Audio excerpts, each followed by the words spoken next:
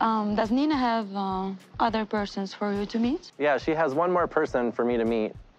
How do you feel about that? How do you feel about that?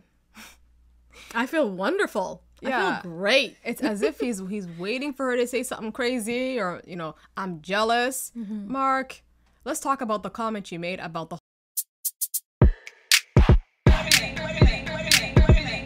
How disappointing is that question? Hey guys, welcome back to Human No Resource. I'm Uma. And I'm Salma. so if you guys follow us, you know who we're going to talk about. We're going to talk about Mark, our favorite American Our from favorite Match Me Abroad. Yeah. So in our previous video, you know we talked about him meeting her family, Houda's family, and it went swell. Right? Swell? Went swell. Swell. Okay, it went all right. and you know, even her brothers, you know, said the, the scariest thing.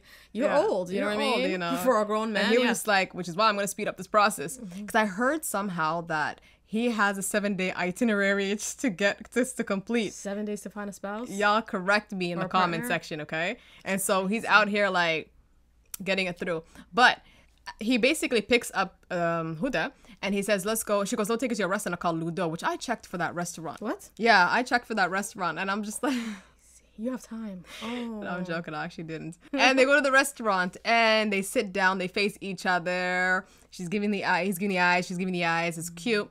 Yeah.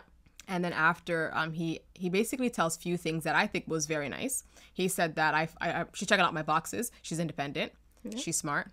Um, career oriented. She's pretty. Family. I don't think he dropped that. And she was kind of like, you know, soaking it all in. You know how women do it. And then after he asked her the important question, like, do you see us marrying each other? Like, let's hear what he says. Because I only have so much time.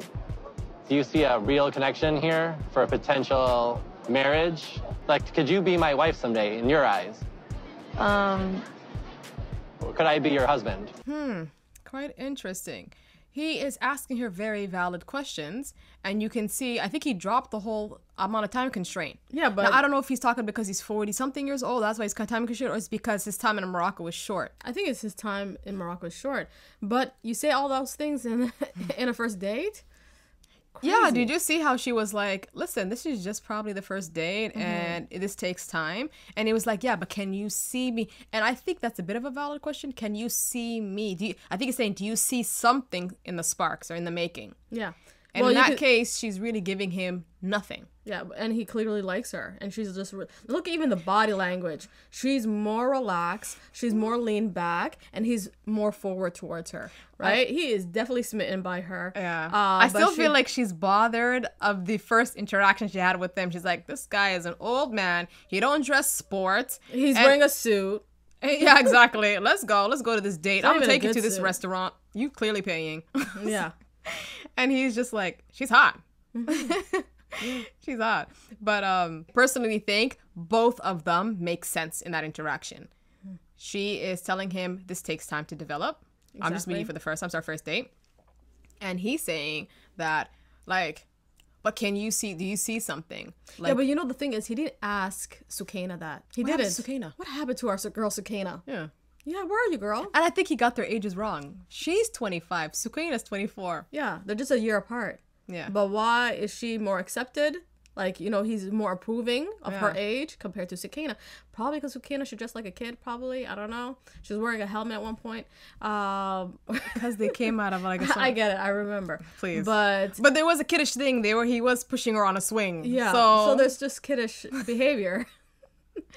but. and in in Sukaina way, I'm telling you right now, that girl is a boss. Let me tell you why. She was I quick. think she's in, she's fun. I think not Sakina's even a fun. quick one, but she's like, "Yo, you know what this is? Can you take me to America quick? Can you take me to America quick? Yeah. Uh, right, right. I'll, I'll cook and I'll clean. I'll do 50-50. Let's go." Did he not ask her if you're gonna be financially ready? He didn't ask her this. He didn't ask that. Do you see?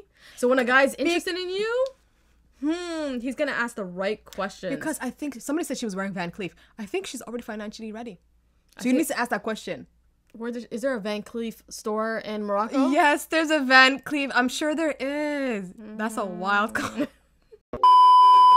I think it makes sense. He's he's more interested in her, and that makes sense for a first Or day she's interaction. hard to get. A- And that's possible because several times she was dragging the conversation when he asked her, like, you know, can you see me as your husband? And she was like, um, Um, um, and then he dropped this sentence, which I thought it was interesting. Should I go on a date with you again? Um, um, I mean, we can't decide from the first date. Should I go out with you again? Yes. Look at him go with that question. Yeah, because it's a play on words.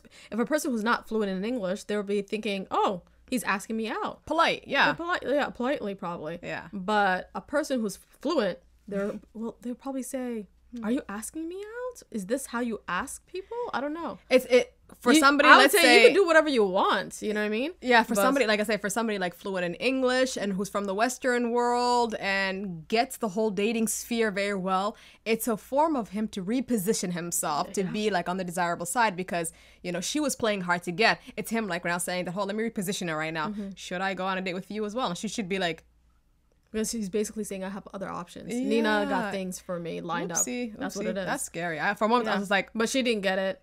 Uh, she's like, "Yes." So she she said, "Yeah, let's go on a date again." And he's like, "And next time, don't put on easy. a suit." Yeah. Stop wearing a class. What she said, She's classic. so cute. They wear a That's classic suit. Classic.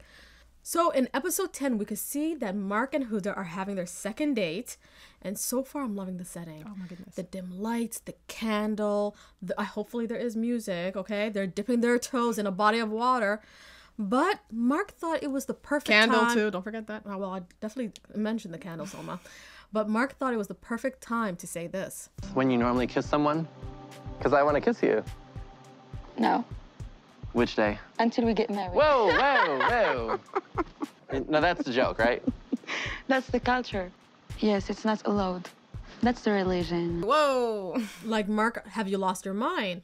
Like, Nina already told you what are the rules. Like, she already gave you a speech. No hand holding, no hugging, no kissing, no any intimacy. It's forbidden in Morocco. Morocco, yeah. And so poor guy thinks right now they're in a closed setting, ain't nobody watching. But there's a camera. yeah, and it's like, can we kiss? Like, he thinks he's gonna kiss this girl in a reality show. So her whole family can see. And no, more interesting, she fin- finally we see she brings up religion. And I know a lot of people in the, in the comments section was like, why don't y'all talk about religion, religion, religion? Because we didn't think it mattered to them. But now you seeing she's saying, in my religion, we don't do that until after marriage. And it is very true. I'm wondering when is she going to bring up that he might need to convert to Islam t- in order to marry her. Yeah, that's another interesting one. Does he know that? Yeah. That he has to do that? Yeah. And I think from what I'm understanding, this guy is he really doesn't know why he chose Morocco. Morocco might not be the best fit for him, or a Moroccan woman from Morocco might be the best fit for him. Yeah, somebody of more similar culture to him and maybe similar religious belief because Probably these- Mm-hmm. they're more flexible in that sense. But when you're going to a more of a traditional, um, uh, very practicing co- um, country, Mm-hmm. you these things are forbidden. And it makes sense. Poor guy still doesn't get it. Date number two, if things are going well at home, um, you normally have more physical contact than nothing. so it's very different and very weird. Like there is no progression from day one to, to day, the day you get married. It's Like I said, is he delusional? you need therapy. I always said that in the beginning, Mark. You need therapy. Now, many relationship get clouded because of intimacy. I'm going to say that. Even in the West. Of course. And, And we'll get to that too. he's not even thinking about building an emotional or intellectual relationship with this woman. He thinks if we don't have any intimacy or any form of it, Yeah. then it's just going to be stagnant. It's going to be it's Funny. stale, or right? like Fun, that. stale. Yeah. funny, funny. He really said from date two to marriage, we made no progress. Um, does Nina have uh, other persons for you to meet? yeah, she has one more person for me to meet. How do you feel about that? How do you feel about that? I feel wonderful. I Yeah. feel great. It's as if he's he's waiting for her to say something crazy or you know I'm jealous. Mm-hmm. Mark, let's talk about the comment you made about the whole starting from the second date all the way to marriage. We're making no progress. See, that's the problem I think with the whole. You got a dichotomy, right? Relationship going on here. You have his Western way of life, you know, serial dating and whatnot, and every girl that he's talking to have some form of a value, so that you're not really building an emotional connection. You're just building a roster. Versus how things is in the Eastern way, where you just kind of develop a single relationship and you invest in it and you hope it amounts to something. When if it doesn't, you kind of get Cut rid of it. You cut it off for what mm-hmm. it is, and you move on to the next. Yeah. You see what I'm saying? Like they really- actually take time and invest on that person. Yeah. And vice versa. And you could see this guy I think that's why you're still single, Mark. You know what I Yeah. mean? You have only it seems like you only have emotional, not emotional, a, a physical, Physical. relationship Right. with these women or the women in your past. And you never built an emotional or an intellectual. And it looks like it hasn't worked for him. Like the thing is, and I think he like he didn't. masked he masked it with the whole conversation. I'm looking for a traditional woman. But your ways are not traditional at He's all. not a traditional man. it's not You're traditional asking this girl a kiss on the second date, Yeah. right? In her culture, That's it's a no no. Yeah. yeah. And the thing is too, like you're saying, that's a weird. No, it's not weird. So now you're with me and you agreed to meet with the others. I mean, you can do whatever you want. It's just that if you're meeting someone else after me, you're not gonna see me again because that's gonna be disrespectful. Another thing too is she drops him an ultimatum. Honey, Now, this is where you know what I'm on his side, and I'm also on her side. True. So let's start with his side. You know, you're on this journey. I don't know how many days you have on. You're in Morocco for, and you have Nina who's going to help you find a spouse for you. You know what I mean? Utilize that. Why not? Now for Houda, you're a smart girl. You're a boss lady, right? And you need to be in your feminine energy. Now, if this guy is saying that I'm going to see another chick, uh, another woman, right? um don't say anything right and i and i definitely believe you when you said you know what it's not fair you know it's not like you're not She really connected to me it, of yeah. course she you said I feel disrespectful. I'm Yeah. disrespected, right? and if you feel like that and you feel like he's not a guy with his words or he seems like he's playing around or whatever or whatnot then move on. but on does she have a right to feel disrespected? I feel like it's a, he's I probably think thinking it's it's a in my constitution to it- do that. I, I feel like it's a norm for him. You know what I mean? Oh, I'm going to check out another person, and he's. uh, I'm assuming she's doing the same thing. right. But um, but Houda, if you feel like he's not a man of his word, if you feel like he's that connection that you thought you guys have is something, I would say move on. And you don't have to tell too, him. in the comment section, people are saying that she's looking like a, a control freak right now. So the second date, you shouldn't be dropping ultimatums to him. I think it, she's not a control freak. I think it's even in her culture. You know what I mean? The men don't move like that probably. They don't straight up say, "Oh, I'm going to see another girl," right? They do discreetly, right? They do it probably discreetly. You know, I in got- America, so wide open, they have a roster of like, Yeah. and vice versa, the girls too over there. Another thing too, if you look at the image between the two of them, he's more laid back right now and kind of pushing away, and she's more kind of like, and you can see right there, it's because I think he was so hyped up about getting to second base with her, which is a, a smooch, and or a snog, whatever you call it. And then what happened was she was like, "Oh, we're doing that after marriage," and he was just like, "Okay, sure, whatever, yeah." Um, I'm gonna see what this other girl has for I got me. to line up. Yeah.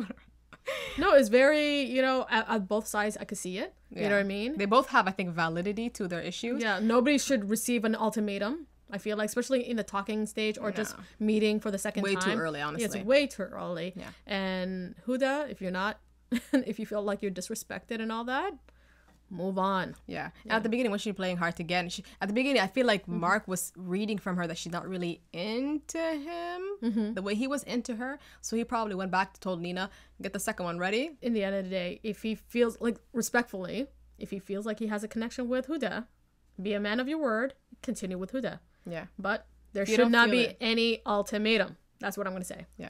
Please and like and subscribe to this video, and bye now.